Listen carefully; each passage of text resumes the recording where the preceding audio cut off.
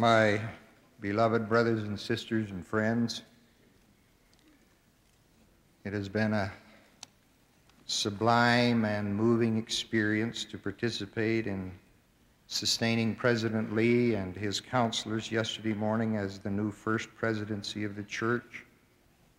And I humbly entreat the same spirit to sustain me for these very few moments while I respond.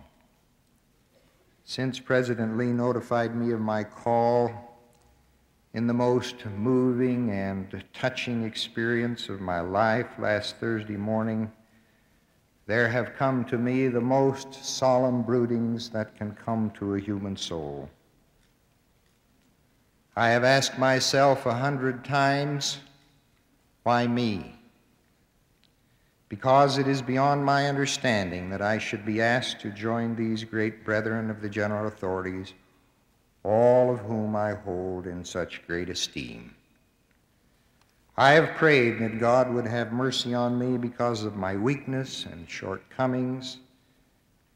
And as long as I remember, I have had a personal witness of the divinity of Jesus Christ and of his church, and it has always been easy for me to believe and to testify.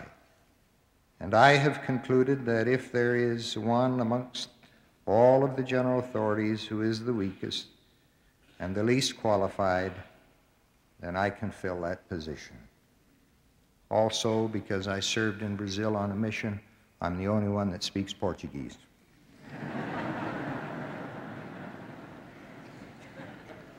With all my heart, I want to thank Ruth Wright Faust for letting me share her life with me and giving me the hope that we can share eternity together.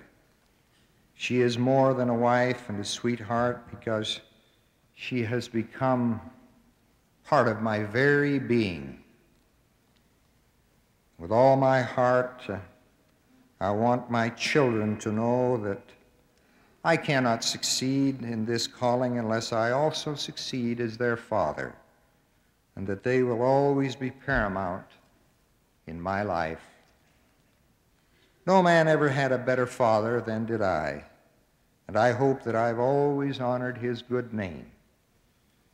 My widowed mother is among you of the television audience, and I'm sure that she weeps. Many times in my childhood, I have happened upon her on her knees praying for her five sons. And I wish to tell her that this son continues to need her faith and prayers. I realize that my life for me and my mine can never and should never be the same. For 22 years and until last Thursday morning, I have been a lawyer. And since then, I've been trying to repent.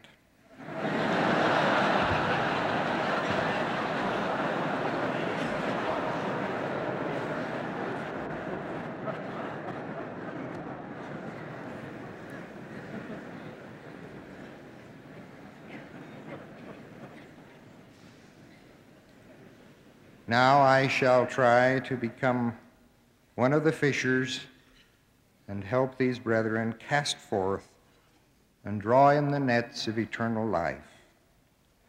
And I should like to say that if anyone has ever been offended by anything I have ever done in my church, professional or political life, I humbly ask their forgiveness. I mentioned to a friend of mine who knew of this call that those who know me will say, Surely James Faust was called of the Lord because no one else would have called him.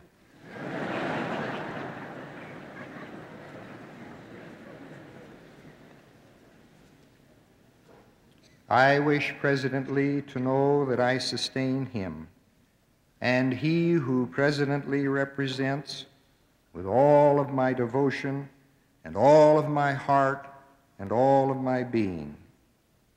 Under his hands I was ordained a bishop, and by him called to the stake presidency. And he has been for me all my adult life a great and beloved teacher and exemplar of all that is noble and good. President Tanner has been like a father to me, ever available, always helpful, kind, considerate, and he knows how much love, love and respect I have for him. President Romney has, as you know, special qualities of inspiration and wisdom and has been a special friend and confidant, and my respect and honor for him knows no bounds. I would also like to mention the profound influence that President Morrill and President Ma Brown have also had on my life. These are and have been the truly great men of the earth.